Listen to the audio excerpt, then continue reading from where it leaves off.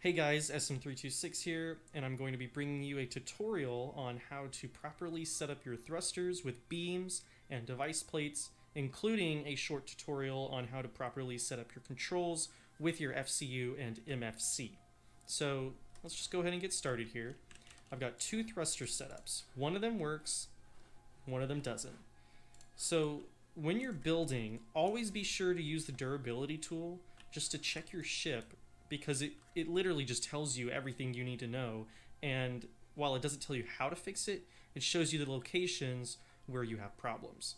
So if we go ahead and we're going to look at the one that works, you can see one crucial thing that is very important. Ship warp class. If you see this, then you know that your ship is valid and will work. Now, it won't always work, but it, it's pretty much telling you you've got a ship that is set up properly. Uh, as you can see, we only have a few warnings for low valid warp mass, uh, and that's the only thing. So now, if we come over to the one that doesn't work, you can see the warp class goes away and is replaced with no ship frame. Now, the issue here is obviously we can see that the device plate is beamed to the thruster, but it still doesn't work. And that, you know, that doesn't make sense. Well, if we click on the little cube, it says at least two bolts needed to connect this part to a beam. So the number one rule when placing device plates, they always have to be directly connected to a beam.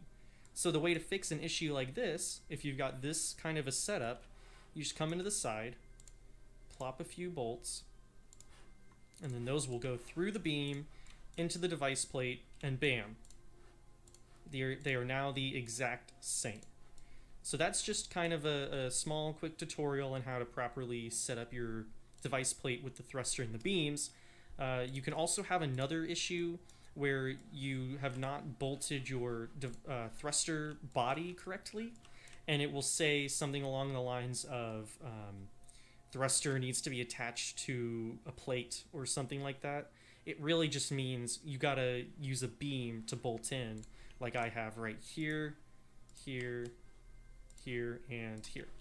So that's essentially it for just the simple how to connect them structurally to your ship.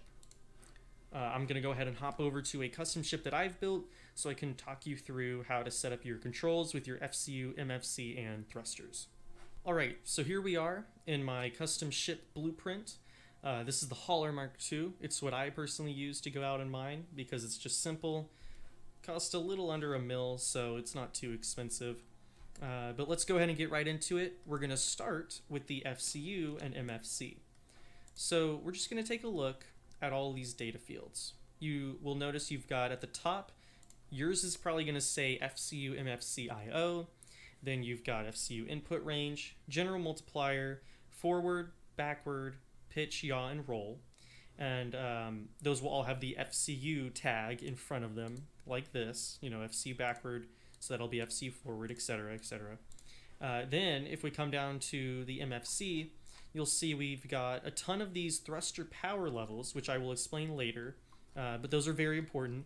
And then you will also see at the top uh, FCU, MFC, IO 1 and 2.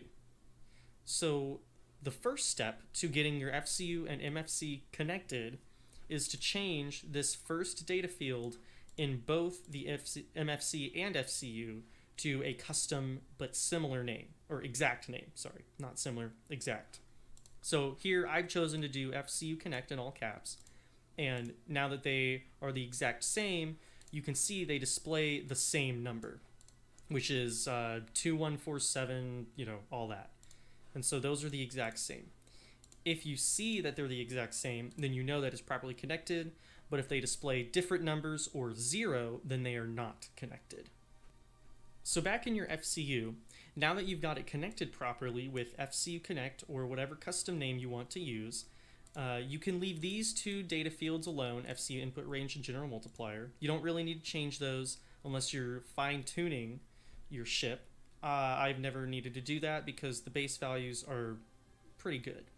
So if you'll look at these five fields for the basic, because I'm using the basic FCU, you have FCU forward, FCU backward, and then pitch on roll, all of that. But what I've done is I've renamed them. So FCU forward is now throttle, then FCU pitch, yaw, and roll are now pitch, yaw, and roll, respectively. And those are custom data fields. They don't have to be custom. You can leave them the same, but I just find that it's a lot easier when you change them to become custom data field names. So now that you've changed those or kept them the same, you want to come over to your controls and for however many of those fields that you want to change, so I've got four that I've changed, you want levers or buttons, whatever type you want to use. I prefer levers because they're very simple to use, but if you want to use buttons, go right ahead. So first, we've got our normal lever for our throttle. This will change the throttle data field, as you can see right here, and that will go into the into the FCU and change that value. And then of course we've got the same thing with the yaw, the roll, and the pitch. So what's going to happen here is once you have those connected in with your cables into your YOLOL network, if I change throttle to let's say 100, then in the FCU, throttle will change to 100. So now that you've got your controls hopefully properly connected to your FCU, now let's go into the MFC and I will show you how to properly connect that to your thrusters. So as I said before, you've got a ton of these thruster power levels. What I recommend doing is counting up the number of thrusters, including box, triangle, and maneuvers, and then creating T1 through whatever number you have. So, for instance, on my ship, I have 14 thrusters, including all of my maneuver thrusters and my two box thrusters. So that adds up to equal 14. And as you can see, I've named it T1, T2, you know, all of that. So now if we just hop over to our thruster, if you click on the body, you can see I've got the top data field as T1. This is important because that is essentially how the MFC is able to talk to the thruster to change the power level, which is essentially changing the amount of thrust coming out of it. This bottom field is for an output, so if you want to return the thrust on one of these screens, like I've got propellant and fuel, you can do so. But I don't need to do that, so I've kept it just the default. But this top field, you have to change it to whatever power level you want it to correspond with in the MFC. So I've got T1 for that one, and then T1 right here. On this thruster, I've also got it T1 because I don't want to have differential thrust. If you want differential thrust, then you can name this one T2. Uh, you don't have to use T, you can name it whatever you want. I've seen a lot of the dev ships use like BU for backup, BD for back down, and all that sort of thing. But I prefer just to use one through whatever number because it works just fine. So now that you've seen how to properly connect the MFC to your thrusters, then we're going to do the same exact thing, but for our maneuver thrusters. And thankfully, the process is the exact same. So as you can see, I've got this one named T3, this one's T4, T5, and T6. And that number goes all the way up to T14. And it doesn't matter which order you put them in because the FCU is just going to calculate which thruster needs to fire when. So all you have to do is just get the number of thrusters you have and then, you know, just put T1 through T whatever. That's how I do it. You don't have to, but it works really well. All right, so now that you have everything connected, the way that this should work is when I change this throttle value to, let's say, 50 in game, that's going to go to the FCU. It's going to change the FCU throttle to 50. And then the MFC is going to look through all of the thrusters that you have, and it's going to calculate based on the placement of those thrusters which ones will fire and how powerful they will fire. So we're going to hop into a test flight.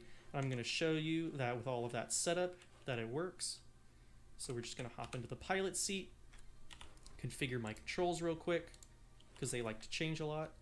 Now, if we just throttle forward, and I'm going to hop out, you can see both thrusters were firing and it just slowed itself down. So I hope you enjoyed this tutorial. Uh, I hope it was helpful.